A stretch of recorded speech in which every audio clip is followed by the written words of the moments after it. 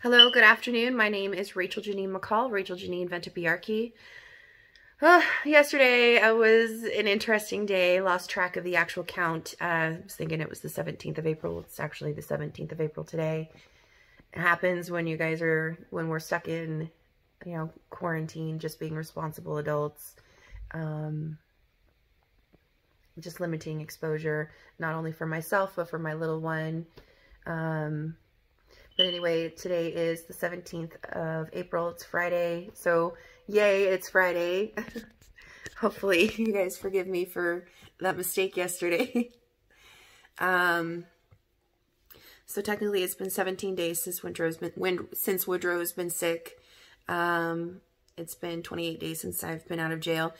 I get to wear my hat because my eye has cleared up, so that's good. Um,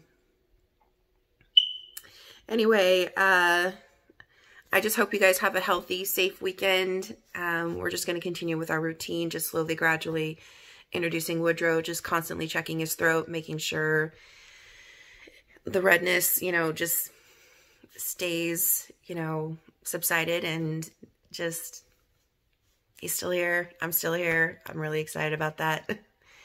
um, Anyway, I hope you guys have a great weekend. I'll be putting out some funnies. I always do over the weekend. It's just kind of a nice break. You know, just sometimes you get a little spontaneous and do something funny. Um, but I mean, most of the time it's just the little funnies that I put out. Anyway, have a great weekend and I will see you guys on Monday.